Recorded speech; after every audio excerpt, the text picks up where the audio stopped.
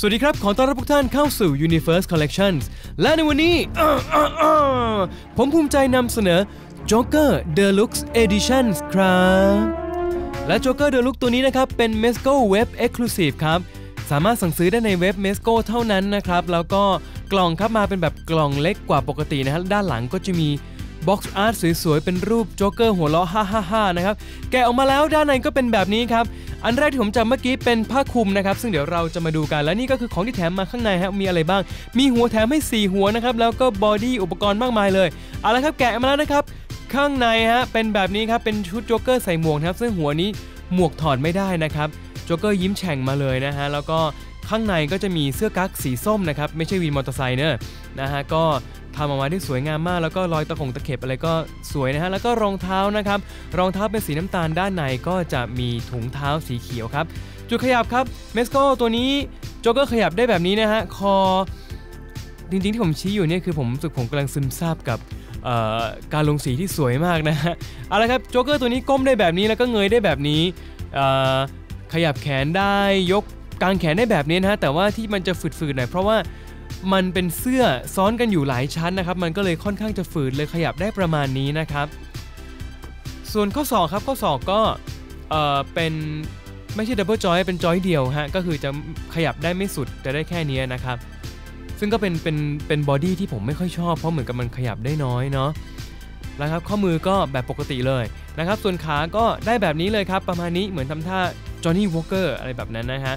เข่าก็ได้เท่านี้แหละครับ ส่วนข้อเท้าตัวนี้ผมรู้สึกว่าจะฝืดหน่อยขยับได้ดีกว่าโจ๊กเกอร์ตัวแรกที่ผมมีนะครับ และนี่ครับนี่ก็คือเสื้อโค้ทนะฮะที่แถมมานะครับเรามาแกะกันเลยดีกว่าฮะาแกะมาก็จะเป็นเสื้อโค้ทแบบนี้นะครับ ค่อนข้างจะบางนิดนึงนะฮะแต่ว่านี่ฮะจะมีรอยกระดุมด้วยนะฮะซึ่งแบบทำมาได้ค่อนข้างละเอียดเลยนะฮะแล้วก็เอิ่ม ข้างในก็เนี่ยฮะที่ผมกำลังจับอยู่นี่ตรงนี้เป็นลวดนะฮะสามารถดัดได้ก็คือคุณสามารถเอามาคล้องเอามาผูกได้นะครับเนี่ยฮะก็จะมีลวดแค่ส่วนเดียวคือส่วนที่เป็นที่คาดเอวนะครับและนี่ก็คือของที่แถมมาครับนี่แหละฮะเวอร์ชันนี้ออกมาเรียกว่าฆ่าเวอร์ชันเก่าเลยนะครับเพราะว่า เวอร์ชันเก่าเนี่ยผมบ่นว่าของแถมน้อยมาก แต่นี่คือแถมมาเต็มจุใจมาก หัวแถมมาให้ 4 แบบด้วยกันนะฮะ รวมหัวใส่หมวกก็เป็น 5 นะครับ มีหัวแบบทำหน้าเครียด หัวแบบโดนต่อย หัวแบบโกรธ แล้วก็หัวแบบยิ้มแบบบ้าคลั่งนะ แล้วก็อุปกรณ์ที่แถมมาก็เยอะมากเดี๋ยวเราค่อยมาดูกันฮะ อันนี้คือเป็นแฉลงนะ เอาไว้ฟาดหัวแบทแมนนั่นแหละฮะ แล้วก็ต่อมาก็เป็นมีดนะฮะ แล้วนี่ก็เป็นคล้ายๆ ระเบิดเวลานะครับที่แบบลงสีมาได้สวยมากครับ อันนี้คือคือยอมรับว่าแบบ ตอนแรกผมนึกว่าจะเป็นการลงสีธรรมดาแต่นี่คือแบบว่าเอ้แบ่งส่วนลงสีได้ดีเนียนเลยแล้วฮะแล้วก็ทางขวาก็จะเป็นคล้ายๆฟันปลอม ผมไม่แน่ใจว่ามันเป็นเหมือนระเบิดเวลาในหนังหรือเปล่านะฮะแล้วก็นี่ก็เป็นปืนสั้นนะครับปืนแมกกาซีนแล้วก็มี effect part มาให้ด้วย เรามาดูที่หัวครับ หัวนี่ครับ paint มาสวยงามมากนะครับ ผมต้องบอกว่าโจ๊กเกอร์ตัวนี้นี่ paint หัวมาสวยสุดๆเลยนะฮะ ก็อย่างที่บอกครับมีหัวแบบทำหน้าแบบฮึมแล้วก็โดนต่อยตาปูดมาหัวโกรธแล้วก็หัวหัวเราะแบบบ้าคลั่ง แล้วก็ปืนครับปืนนี้นะครับสามารถขยับแม็กด้านบนได้ก็แก๊กก็แก๊กได้ แล้วก็สามารถถอดแม็กได้นี่ครับ แล้วก็แม็กด้านขวาข้างล่างเนี่ยฮะก็จะมีเพ้นท์รูปกระสุนมาด้วยนะครับก็คือแถมแม็กเพิ่มมาให้อันหนึ่งนะครับนี่ก็เหมือนกันครับเป็นปืนกลใช่ไหมฮะแล้วก็มีแม็กยาวๆมาให้ด้วยอีก 1 อันนะครับเป็น 2 อัน แล้วด้านในก็เช่นเคยครับมีเพ้นท์กระสุนให้ด้วยนะฮะละเอียดเช่นเคยเลย แล้วก็อันนี้ครับเป็นมีดที่ผมชอบเพราะว่าไม่เคยมีมาก่อนในแบบอื่นก็คล้ายๆแบบเหมือนกับนึกภาพเหมือนมีดที่เขาไว้กลกลจรผู้ชายนะฮะ นะครับก็พับได้มีดพับโอ้โหสวยมากเลยทำละเอียด แล้วก็ถ้าคุณตรงใบมีดเนี่ยเหมือนเขาจะมีการเฉดสีให้เหมือนกับแบบเอ้ยมีเงาคมมาด้วยนะฮะและนี่ครับนี่ก็จะเป็นวิธีการถอดเสื้อของโจ๊กเกอร์นะฮะว่าด้านในเป็นอย่างไรก่อนอื่น คุณต้องถอด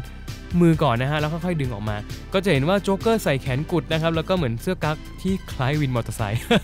นะฮะแล้วต่อมานี่ครับเราก็จะนอกจากถอดเราก็จะใส่ด้วยเราชอบถอดถอดใส่ใส่ๆเนาะ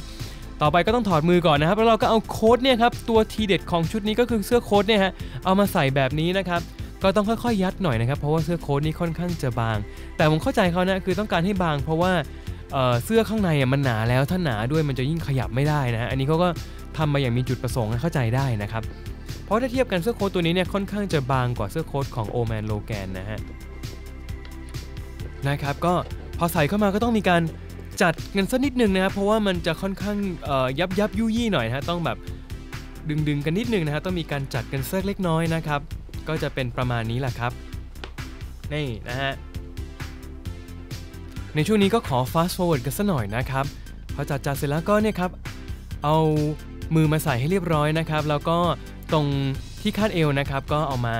มุนมุนมุนมุนซะหน่อยเป็นการผูกให้มันติดกันก็ได้ หรือว่าบางคนอยากจะแบบว่า ใส่ให้มันเปิดเปิดหน่อยก็เหมือนเจ้าพ่อเซี่ยงไฮ้ดี อันนี้ก็แล้วแต่ความนิยมแหละครับนะประมาณนี้นะฮะ เท่านี้ก็พร้อมไปแอคอาร์ตได้แล้วอะหล่อไปเลยฮะเอาละครับและนี่ก็คือการเปรียบเทียบกันระหว่างโจ๊กเกอร์ตัวเก่าและตัวใหม่นะครับ จะเห็นว่าความแตกต่างก็คือตัวเก่าก็จะไม่มีหมวกให้ แล้วก็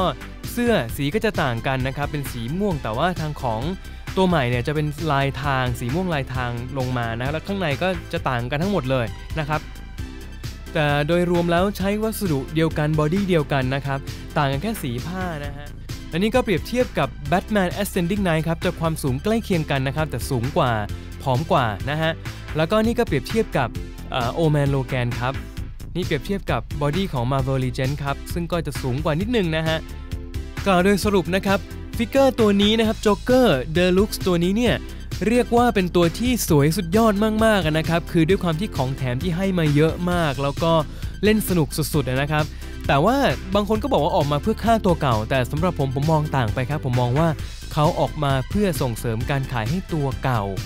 เพราะว่าตัวเก่าตอนที่ออกมาตอนแรกเนี่ยขายไม่ค่อยดีครับ คืออย่างแม้ว่าในไทยเองก็ยังสั่งกันน้อยนะฮะคนไม่ค่อยเล่น แต่พอออกตัวนี้มาปุ๊บเนี่ยออกมาเป็นเว็บ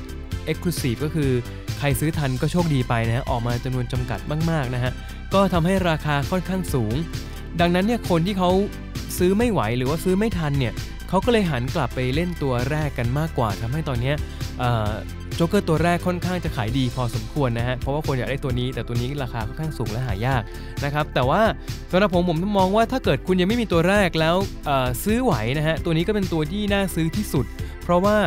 มีหัวแถมมาให้เยอะแล้วก็มีลูกเล่นเยอะอย่างที่คุณเห็นเนี่ยคือสามารถถอดเสื้อโค้ทก็ได้ ใส่เสื้อโค้ทก็ได้คือ มีให้มามากกว่าเป็นเวอร์ชัน deluxe จริงๆนะครับ ก็ลองดูครับว่า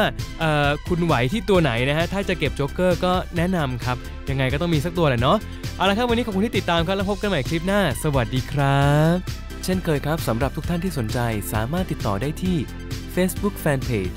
mesco toys online by toys dd ครับ